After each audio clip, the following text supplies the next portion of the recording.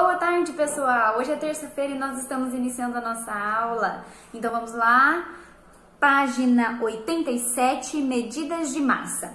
Pode colocar a data de hoje, 17 06 de 2020.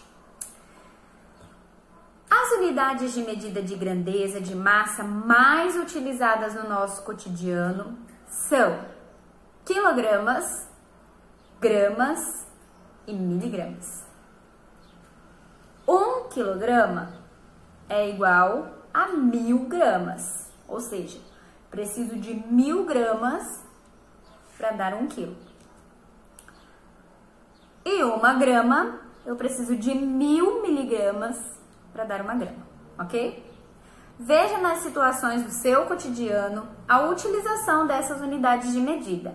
Ó, quando a gente se pesa, a gente vê essa medida por quilo. Quando a gente ó, vai fazer nossas compras, algumas embalagens, ó, aqui tá vendo? Um quilo.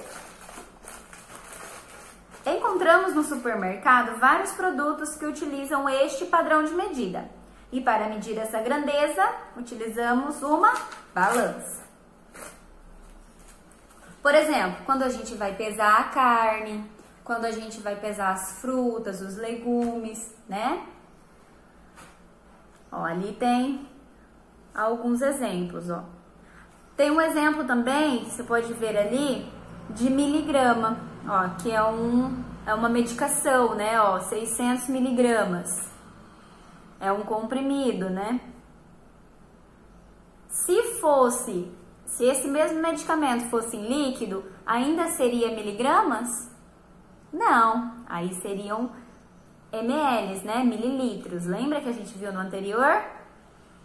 Ó, daí tem a balança e tem as embalagens aí, ó.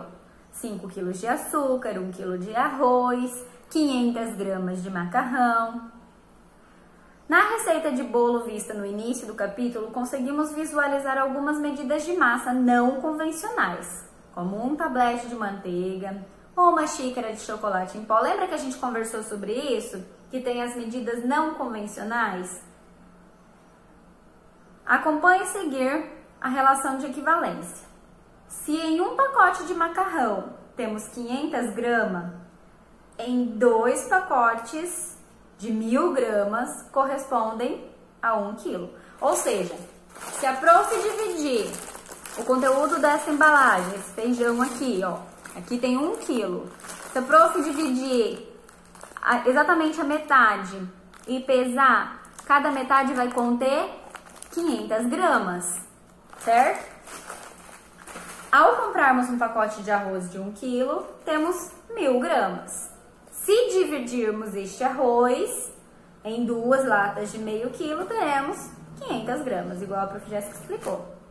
Um comprimido para dor de cabeça de 500 miligramas é vendido também com o dobro dessa dosagem, ou seja, uma grama.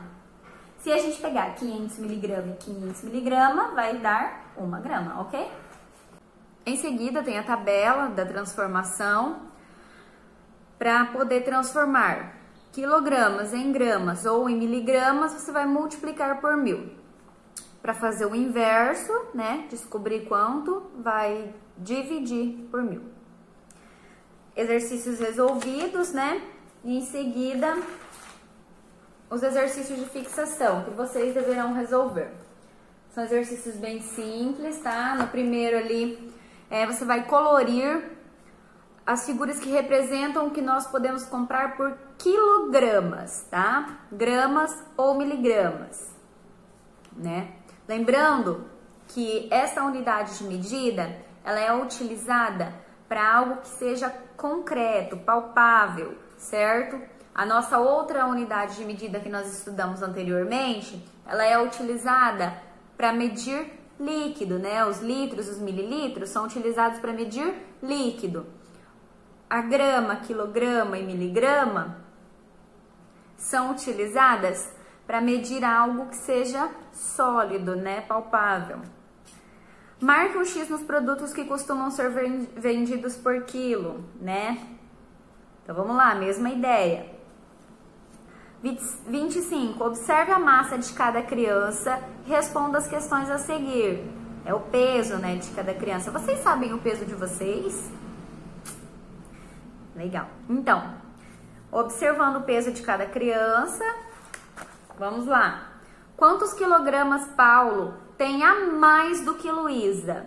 Então, para você descobrir essa conta, você vai fazer uma continha de menos. Vai pegar o peso do Paulo menos o peso da Luísa. E vamos ver aí quanto que vai dar. E agora, na letra B, tá perguntando qual é a massa total de todas as crianças. Para eu saber quanto que todas as crianças pesam junto, a minha continha tem que ser de mais, né? Peso de um, mais o peso do outro, do outro, do outro, e assim você vai descobrir qual é o peso total de todos eles. Depois tem o reviso que você aprendeu. Ó. Da atividade do assunto anterior, lembra da unidade de medida dos líquidos que a gente viu? Litros, mililitros, né? A prof quer que vocês enviem a atividade do Revise que você aprendeu é, através do portal, tá bom?